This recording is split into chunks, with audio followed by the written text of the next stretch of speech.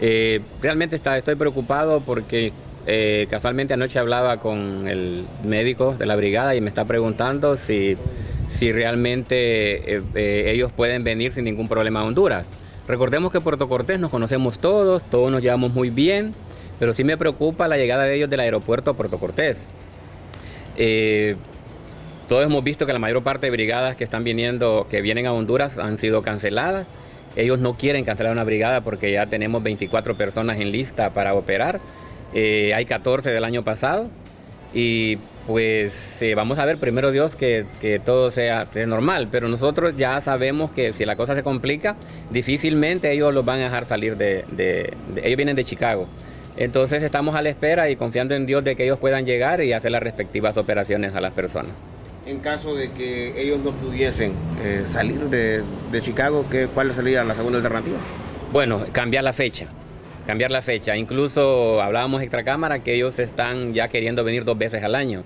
En enero y en septiembre, porque están viendo que hay una demanda muy grande en cuanto a ese tipo de operaciones como hacer eh, eh, cálculos vesículas y hernia. Entonces, si han visto ellos una buena cantidad de personas, y una de las cosas también que, me quiero, que quiero aclarar es que realmente no son aprendices. Es un médico, eh, uno de los mejores médicos de, de, Wisconsin, el que está viniendo. Y ellos están felices de venir. Ellos traen todo, tienen su equipo, tienen su máquina para operar con láser.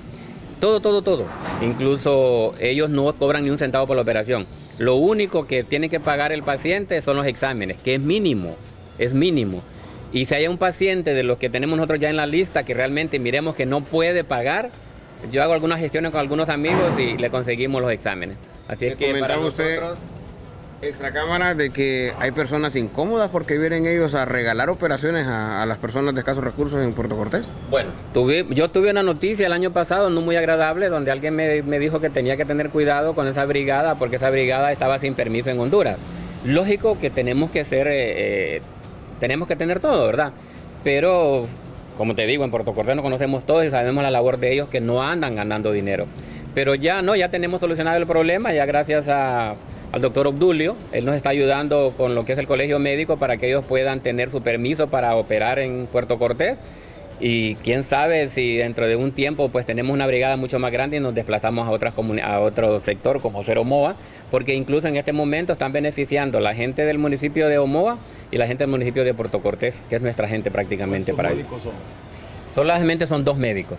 Ellos operan, operan muy rápido. El año pasado tenía la meta de operar siete cada día, eh, pero lastimosamente no pudo hacer eso por algunos problemitas internos.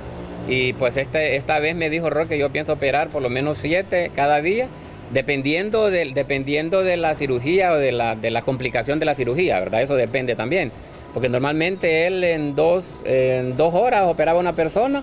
Lo bueno de la operación con láser es que tú, a, ti te operan y media hora después tú ya te vas a tu casa, tranquilo. Previo, ¿no? Eh, claro, ya sí, sí, porque incluso nos quedaron 14 del año pasado y son los primeros que están en la lista. Dentro de esos 14 habían dos, dos o tres que fueron, que fueron evaluados y que ellos pues no estaban como listos para la operación, podían esperar. Entonces este año van a ser los primeros en ser operados.